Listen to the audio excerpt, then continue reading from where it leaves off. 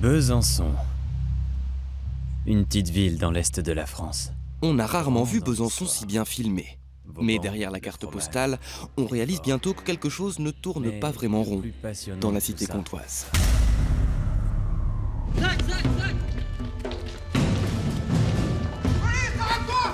Ce court métrage nous raconte l'histoire d'un trafiquant passé par la casse-prison et en chemin vers la rédemption. Son réalisateur, le voici, il ambitionne même de faire une série à partir de son petit film. Bah, c'est une série franc-comtoise, c'est la Bourgogne-Franche-Comté. Pourquoi nous, on n'a pas aussi notre plus belle la vie?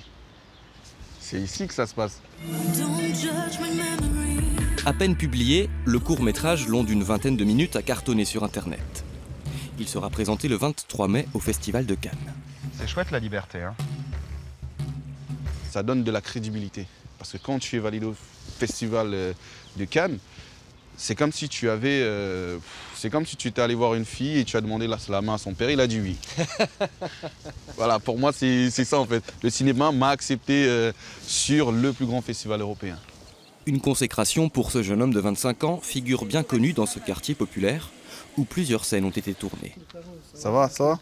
Ça va la femme Ancien clandestin arrivé du Cameroun il y a trois ans, le réalisateur vit désormais sa passion de cinéaste, loin, très loin des galères passées. Quand tu, euh, tu as survécu sur le désert, tu as survécu sur l'eau, il y a des gens qui me disent pourquoi tu es tout souriant. Parce que je dis, il n'y a plus rien de malheureux.